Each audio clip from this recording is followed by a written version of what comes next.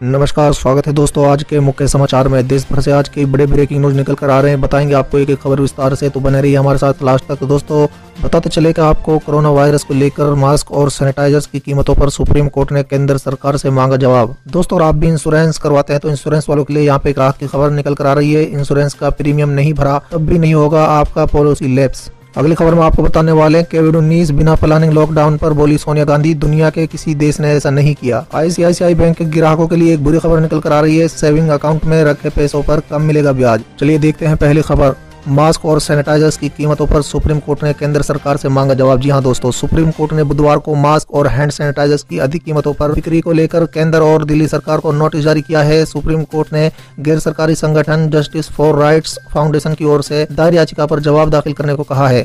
याचिकाकर्ता ने कहा है कि मांग बढ़ने की वजह से दवा दुकानदार इन उत्पादों को एमआरपी से अधिक कीमतों पर बेच रहे हैं। याचिका में कहा गया है कि यदि कॉमिस्ट और दूसरे मेडिकल आउटलेट यदि ऐसा करते हैं तो इसका सबसे अधिक असर गरीब और दिहाड़ी मजदूरों पर पड़ेगा।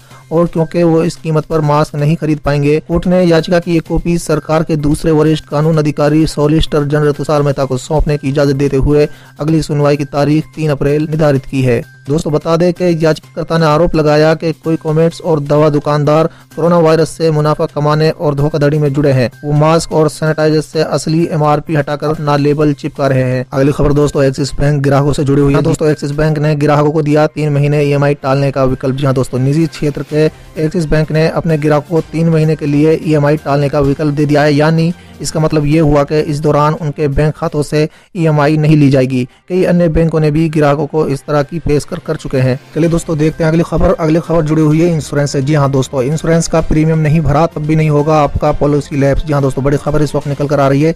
देश में कोरोना वायरस की वजह से लॉकडाउन के चलते आपको इस बीच चिंता हो रही होगी कि अगर इस लॉकडाउन के बीच बीमा का प्रीमियम नहीं भरा तो वो लेप्स हो जाएगा। लेकिन आपको इस चिंता का समाधान आ चुका है। आप अगर लॉकडाउन के समय प्रीमियम नहीं भी भरते हैं तो आपका बीमा लेप्स नहीं माना जाएगा। केंद्र वित्त मंत्रालय ने आपको एक बड़ी राहत देते हुए देने का फैसला किया। जी हाँ दोस्तों, के कोई भी बीमा इक्कीस अप्रैल तक लेप्स नहीं होगा। वित्त मंत्रालय ने ऐलान किया है कि लॉकडाउन के दौरान जिन लोगों ने अपने मोटर व्हीकल की थर्ड पार्टी इंश्योरेंस या हेल्थ इंश्योरेंस की पॉलिसी को रिन्यू नहीं करा पाए 21 अप्रैल तक प्रीमियम भरकर रिन्यू करा सकते हैं। जी हाँ दोस्तों, इसका मतलब ये हुआ यानी किसी की पॉलिसी 25 मार्च को लेप्स कर रही होगी और पेमेंट नहीं हो पाई तो भी पॉलिसी लेप्स नहीं मानी जाएगी। इक्कीस अप्रैल तक पैसा भरकर वो पॉलिसी कंटिन्यू रख सकते हैं। दोस्तों लॉकडाउन के बीच बैंक में कैश जमा नहीं कर पाने की मजबूरी के बीच वित्त मंत्रालय ने इंश्योरेंस एक्ट में बदलाव कर दिया है। बदलाव को नोटिफाई भी कर दिया है। इस बाबत सभी कंपनियों को निर्देश भी दे दिया गया है। जानकारों का कहना है कि 25 मार्च से 14 अप्रैल की अवधि के बीच ऐसे कई लोग हैं जो एक तरह से फंस गए थे। इस वजह से वो अपनी पॉलिसी रिन्यू नहीं करा पाए। सरकार ने ऐसे व्यवहारिक दिक्कतों को देखते हुए ये बदलाव किया है। चलिए दोस्तों, देखते हैं अगली खबर। कोविड उन्नीस बिना प्लानिंग के लॉकडाउन पर बोली सोनिया गांधी। दुनिया के किसी देश ने भी ऐसा नहीं किया। जी हाँ दोस्तों, कांग्रेस अध्यक्ष सोनिया गांधी ने गुरुवार को कहा कि कोरोना वायरस के संकट से निपटने के लिए लगातार चिकित्सा जाँच की ज़रूरत है और चिकित्सा कर्मियों को पूरा सहयोग दिया जाना चाहिए। सभी निजी सुरक्षा उपकरण मुहैया कराए जाए। गांधी ने कहा है कि 21 दिन का लॉकडाउन ज़रूरी था।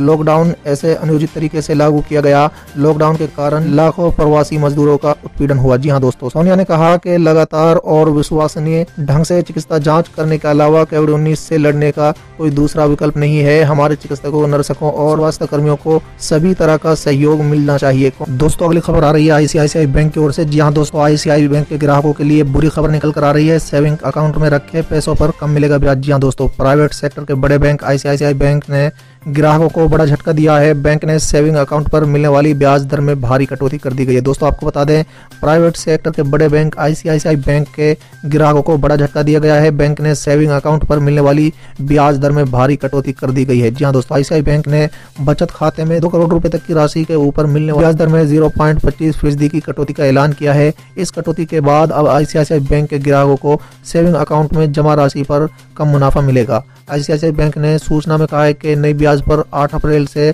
प्रभावी हो जाएँगे। तो बता दें कि बचत खाते में 50 लाख रुपए तक जमा करने पर अब 3.5 फ़ीसदी के बजाय 3.25 फ़ीसदी ब्याज मिलेगा। वहीं 50 लाख से अधिक लेकिन 2 करोड़ रुपए से कम की जमा पर ब्याज अब तीन पॉइंट पचहत्तर फ़ीसदी मिलेगा, जो कि पहले चार फ़ीसदी था। फ़िलहाल खबरों में इतना ही। फिर मिलते हैं अगले वीडियो में। थैंक्स